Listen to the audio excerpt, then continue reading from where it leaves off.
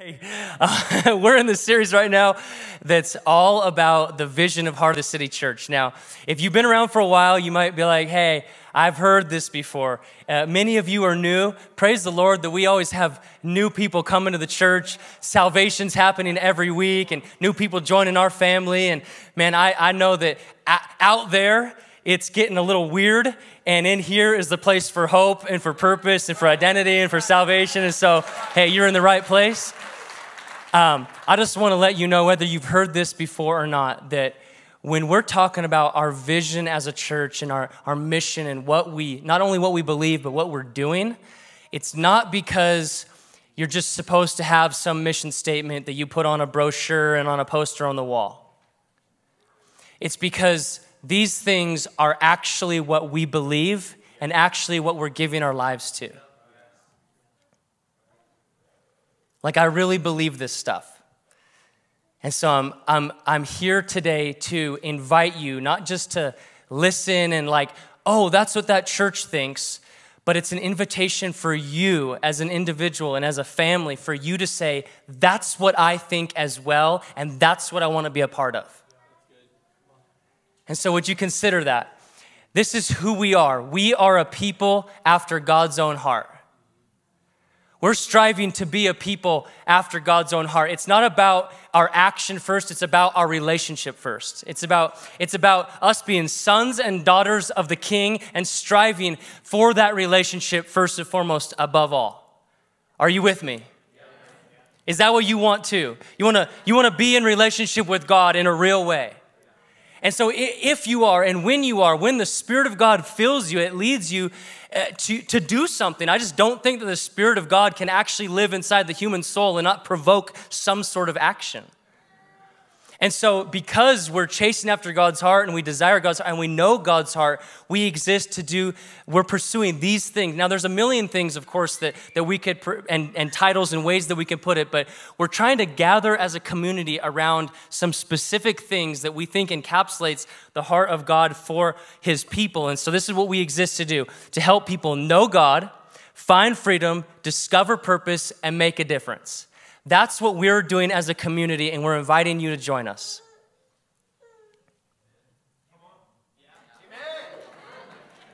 Will you say this with me? We exist to help people know God, find freedom, discover purpose, and make a difference. It begins with knowing God, of course. We, we really can't do anything in this life if we don't actually know God. All of the action, all of the Bible studies, all of the service projects, all of anything, if we don't actually know Him, we're totally missing it. You know that we're not just practicing religion here, we're building relationship with a living God here. And so when you know God, then you step into this journey of salvation and what that looks like. And, and, and it has to start with knowing God, though. And so, and then we're, we want to help people find freedom. And so that's what I'm here today to, to speak with you about. My, my assignment today is to speak about the second uh, part of our vision, which is to find freedom. And so I just want to read just a couple passages, foundational passages from the scriptures. You probably heard a few of these just to set the framework for the direction that we're going today. So here's passage number one. Jesus here uh, is discussing this contrast between who he is and what he came to do, and who the evil one is, and basically what he works to do in this life. You know, we're in a battle, and Jesus says this the thief comes to, the thief being the devil the devil, devil and the powers of darkness. He says, The thief comes to steal, kill, and destroy. If you didn't know it, that's what he's trying to do to you and your family. That's what he's working really hard right now to do in our nation to steal, kill, and destroy through lies, through deceit, through chaos. Right? This is what the devil comes to do is to steal, kill, and destroy. But, but Jesus came that they may have life and have it abundantly. Life and have life to the full. That's one of the things that Jesus came to bring us is life abundant. Now, this life abundant that he's offering you, it may not mean that you get a Lamborghini. Okay. Just be prepared. It may not you may not get that. You may not get a mansion. You may you may or you may not have an abundance of material possessions. This this whole thing is not about us getting more stuff. Now, you may have material possessions, you, you may have a money, you may have a Lamborghini, but that's not the point. The point is that we live an abundant life because we have the greatest, most precious thing in all of the universe, something more precious than our mind can even imagine. We, we get the presence of the living God living in us. That's what the abundant life is. It's not just heaven when you die, it's experiencing God's kingdom here on this earth. And so, so like the Apostle Paul can say, I know what it is to have a lot and to have nothing. I know what it is to be well fed and to be hungry. I've learned the secret of being content in any and every situation because I have Christ. In fact, I consider everything else to be gained in this life as trash compared to inheriting Him. And so Jesus came to, to bring us abundant life. 2 Corinthians 3:17 says this, "Now the Lord is the Spirit, and where the Spirit of the Lord is, there is freedom. Oh, we're thinking a lot about freedom these days, aren't we? Oh, our government's getting kind of weird right now. It is. Land of the free, home of the brave, unless you do what we say. I just, personally, personally, I think that a, uh, somebody filled with the Spirit of God should be led by the Holy Spirit and reason but you should only put in your body what you feel the Holy Spirit tells you to put in your body. I'll just leave that right there. That's just my opinion. I'm not saying to do anything or not do anything. I'm just saying listen to the Holy Spirit. And I think that you should have freedom in that. But let me just say this no matter what governmental structure you are under, even if the government that you're under says do whatever you want, you will never have real freedom unless you have the Spirit of God in you. This is what it's all about. This is not primarily about our political system. To experience real freedom in this life, we need the Spirit of God in us and leading us. Not just in us, but leading us. Last scripture, John 8, Jesus says this. He said to the Jews who had believed him, it's interesting to me that he's speaking to those that had already believed him. And he says this If you abide in my word, you are truly my disciples. There's something to not just believing in him, but abiding in him and abiding in his truth, his word, his reality, sticking in that, meditating on that, knowing that, and, and letting that word take fruit. Uh, take root and then grow fruit in your life. If you abide in my word, you will know the truth, and the truth will set you free. So I'm here today to speak about finding freedom and this journey that we're on in finding freedom. And so I want to introduce to you the title today Do You Want the Vehicle? Do you want the vehicle? I don't know if you, I don't know if you uh, know this about me, but I've had a lot of different jobs uh, in my life, and Ever since I really started following Jesus and graduated from college, I have always viewed myself in full time ministry. It's just for a lot of those years, I had to do a bunch of other jobs to make money. I actually think that that's what, what your calling in life is as well, is that you'd be doing full time ministry as you're doing whatever you do to make money. I think that's everybody's job who follows Jesus. But so I've had many different jobs in my life, and my last job, my last year before coming on staff here, was right up here at Parker Toyota. Did you know that? I was a car salesman. Not all of them are sleazy. There's a lot of great people. In the car business, when you quit, you don't put in two weeks' notice. When you say or insinuate you're leaving, you leave immediately. That's just, I don't know, that's the way that it is. So I knew that, I had heard that, and so the day came when I was finally invited to come on staff here, and I was so blessed by that. And so I had learned so much, and at the time, Connor White's dad was the general manager up here, and so I wrote a paper, and it was entitled, Why I'm a Better Pastor Having Spent a Year in the Car Business. For real. And the day that I was gonna quit, I walked into uh, Mike White's office and I gave him the paper and I said, I quit. and he read it.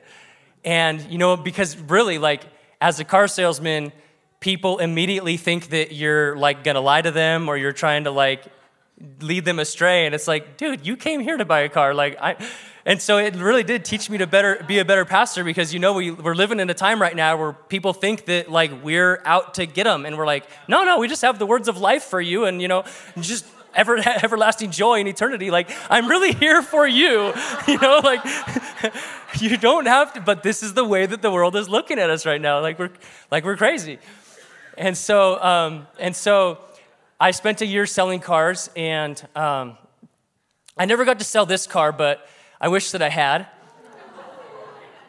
That's that Lamborghini that you may or may not have, you know, living the abundant life that Jesus offers you. Probably may not, but isn't this a good looking car? I never have driven one before, but I wish I could have sold that one. Here's another car that's orange and has four tires. Uh, not, not as cool, but, but good on gas mileage. So, like, so when you're car, when you sell cars, you know, I, I, I like cars, but I don't like know anything about them. So they're like, go and study all the features and, you know, tell people about why they're so cool. And so I learned a lot about the Prius, and I was like, oh man, this car is actually pretty cool. Like, it's got a gas engine and this electric engine, and when you brake, it actually recharges the batteries and da da da, and all this cool stuff they're learning. It has these little nubs on the side and makes the air swivel a weird way. And it's like all this cool stuff. And, and so I would, you know, try and sell people cars by telling them all the benefits and all the features. And, but, but how many of you know that if you get to the end of a test drive and the whole process, and I've just blabbered on for 45 minutes about all the features, if the person doesn't want the vehicle, they're not gonna buy the vehicle. It doesn't matter how many features it has. If they don't want it, they're not gonna take it. It doesn't matter if, I, if I'm fully convinced this is a good car for you. Don't buy the Lamborghini, buy the Prius. You, this is really gonna fit better for your life, but tell them about, all about the features. If they don't want it, they're not gonna take it. And so here, here's, a, here's a car that I could, I could sell because I've actually owned. This is our, this is our truck. I, I have this truck. I've used this truck. I've experienced the features and the benefits of this truck and how it's really practical. And though I might like to drive the Lambo, this actually gets the job done. And so I, uh, I want to ask you again do you want the vehicle? So I'm going to be, straight up with you today come out and say exactly what I'm, what I'm presenting to you today. I know the primary message of our vision is that we exist to help people find freedom. I'm not saying that what I'm presenting to you today is the only way to find freedom. The truth is, there's many vehicles that we could use and that God has for us on our journey of working out our salvation, of finding freedom from sin, freedom from pain, freedom from addiction, freedom from broken relationships, and, and, and living freely into all that God has called us to. There's many vehicles, but what I'm here to sell you today is a vehicle that I've actually owned, that I currently own, and that I have used the functions and the features of, and I really believe in it. And so I'm gonna present to you this vehicle, and I just simply wanna ask you do you want it? Here's the vehicle small groups. This is a vehicle that can take you on the journey of finding freedom, the fullness of life that Jesus has offered you. Jesus said, I came to bring you full life. This is a vehicle that I've owned, and so I'm gonna present to you five simple features of this vehicle, and at the end of this test drive, drive I'm gonna ask you if you want it. Okay? Here we go. Number one, what can you expect to gain out of this vehicle? The first thing that you can expect out of a small group is friendships, and I will say it, even family. I know that you want to not just come here and sit in a seat on a weekend and, and not know anybody. I know that you desire something deeper, something more. You desire people that love you and that you love. You desire friendships because we are designed that way. And the truth is, I know that, that many of us would like our friendships to become like family. And, and I can just tell you, I've experienced this. This is a vehicle that I own. The small group that I have right now, we do life together. We really do. We, we are with each other in it, in the, in the good times and in the tough times. We're, we're talking about things that would never, ever be talked about in this room. We eat together and we celebrate together. We vacation together. We, we go to the beach together. We hang out together. And, and these, these are people that to, to us are, of course, we have family and we love our family, but these people are, are just as close as, as family. And I, I want that for you. And so if you're not experiencing that, then consider this vehicle that I'm offering to you, to you today because like I don't I don't remember if Rose mentioned it in this gathering, but like she was talking about when she first showed up to a small group, she felt uncomfortable and she oh, I don't know if I want to be here. And and sometimes it's gonna feel like that, but if you if you stick with it, you will you will grow in relationships. I'll just also say this not every small group is gonna be a perfect fit for you. And that's okay. I've had people come to our groups, and I've been in groups where, like, we're all different. We have different passions and, and interests, and, and like, that's okay. If one small group isn't fulfilling this for you, and th- then just don't say, well, small groups don't work. Say, well, let me find another one, or, or here's an idea.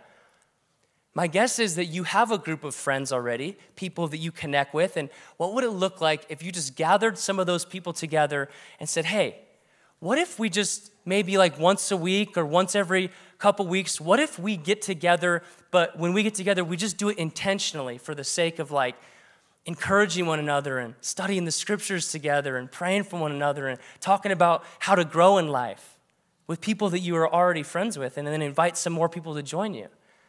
That's called a small group. I want that for you. I want you to have friendships and, and, and, and family.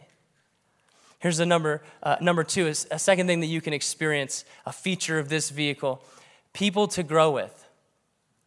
There's something special that happens in this room, and, and, and when, it, when a message is delivered and God is moving in this place, there's, there's a degree of growth that happens in here that, that really can't take place in a small group setting. There's just something special that God's designed that happens when the, the Word of God is preached. But there's also something that can't happen in this room that happens in a smaller setting when, when you can be in close relationship with other people. And, and here's, here's the truth a point that I really want to invite you to consider that in a smaller, more relational setting, you can be used to help speak words of life over somebody else and help them grow.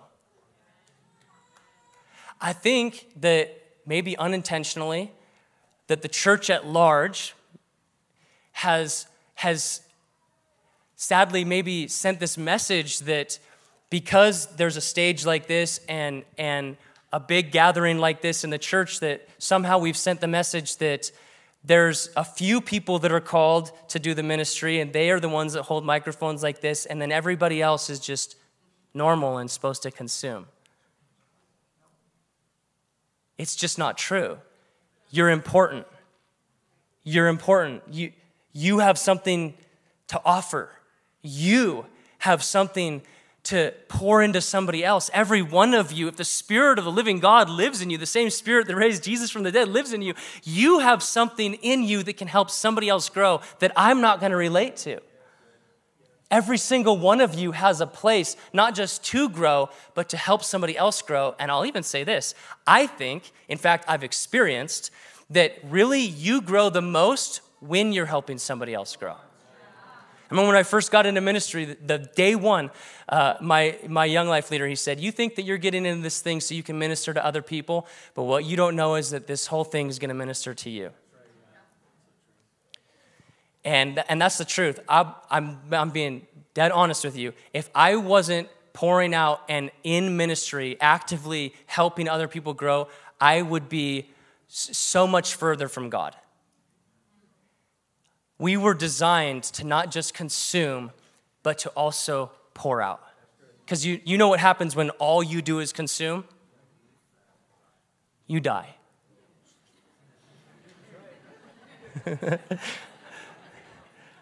and so I just I'm telling you this because I know that you want life and life abundant and this is this is how you get it by being part of this thing. You were designed for that.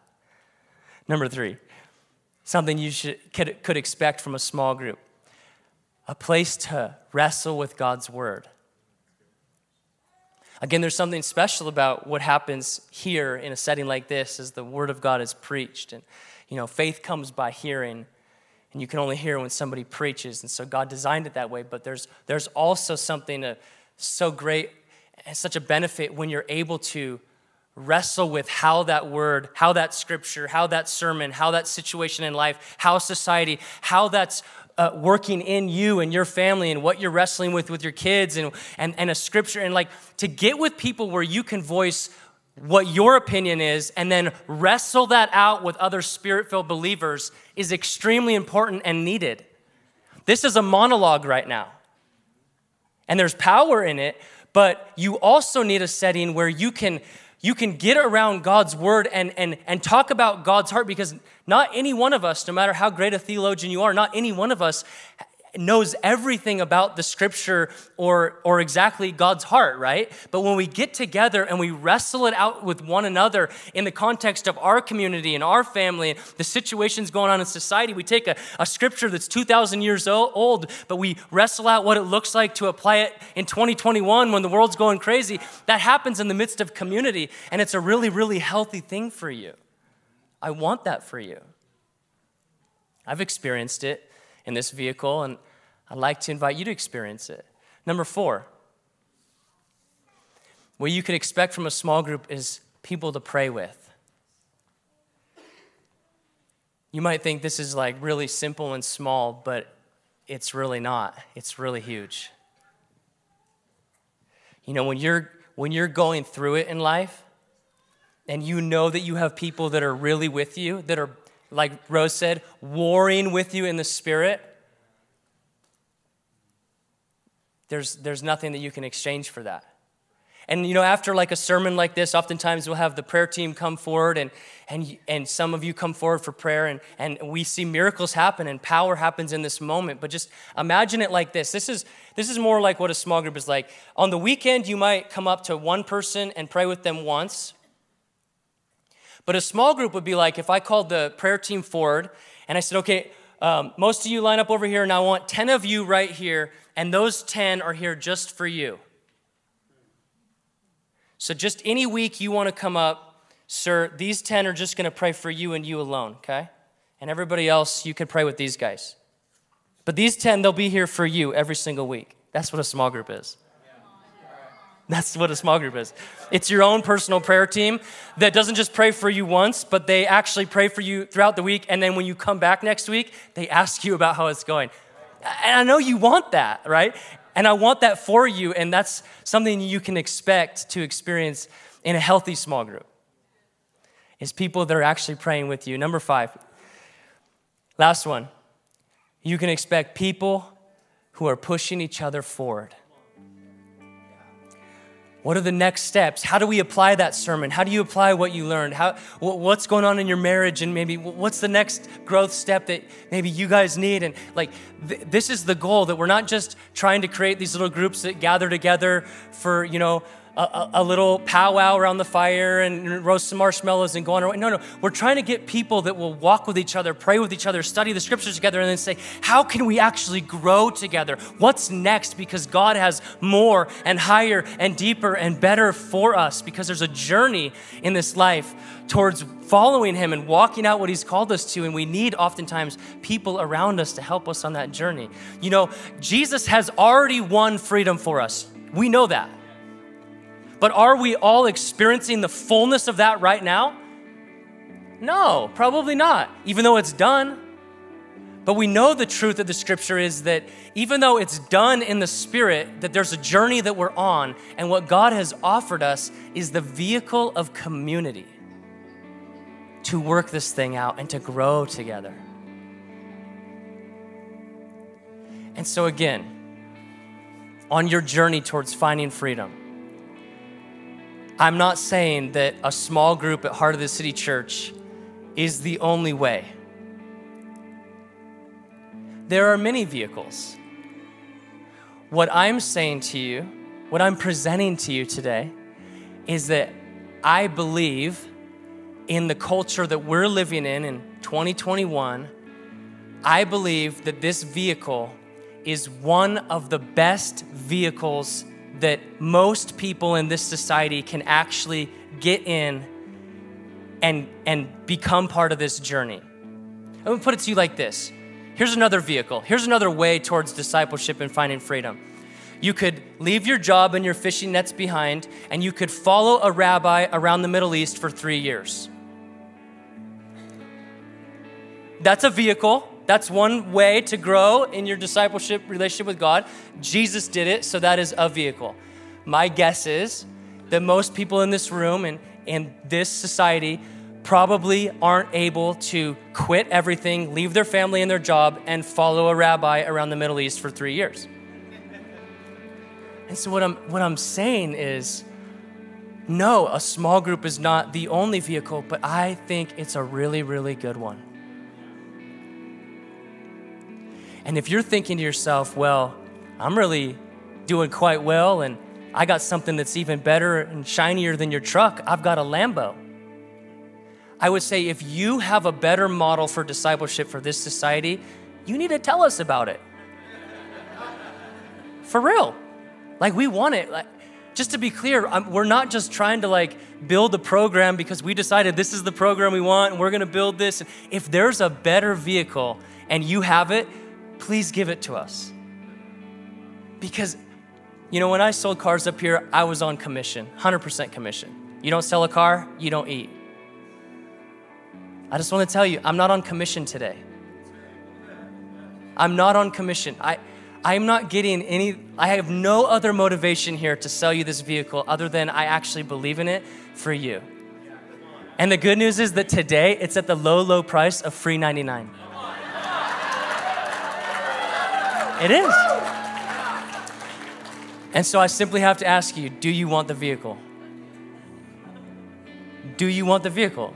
Do you want relationship? Do you want prayer? Do you want some people to wrestle through the scriptures with? Do you want people that are pushing you towards your next steps? In, in the groups at the heart, we say this ESPN encouragement, scripture, prayer, next steps. That's what we're trying to do. If you are not experiencing that, I want to invite you to join one. In just a few moments, I'm to have all of the current small group leaders go out into the lobby, and when I release you, you're to have an opportunity to go and meet some of them. If you sign up today on a clipboard, it doesn't mean you're locked in. It just means that they're to invite you and get you more information. And I encourage you, try one or two or three and don't feel like you're locked in, but maybe you'll find one that's a good fit for you. That's what this weekend is all about. Groups of the Heart launch weekend that, that you guys would find a place. Now, this is also what I know. If every one of you responded to this, there wouldn't be enough room in the small groups that we currently have going. Now, what I believe is that many of you in this room are supposed to start your own. I think if you give me a chance, I can convince you it's not as hard as you think it is. It's not as unattainable as a Lambo might be. It's really attainable and it's really functional and it's really practical in your life, and you can do it. You have something to offer you have a group of friends that you already like, maybe you just gather them together. And I'd love to walk with you on the journey of considering what leadership might look like for you. And so the invitation today is to number one, consider do I actually want that? And number two, if you do, that you consider joining one or consider starting one. Sound good?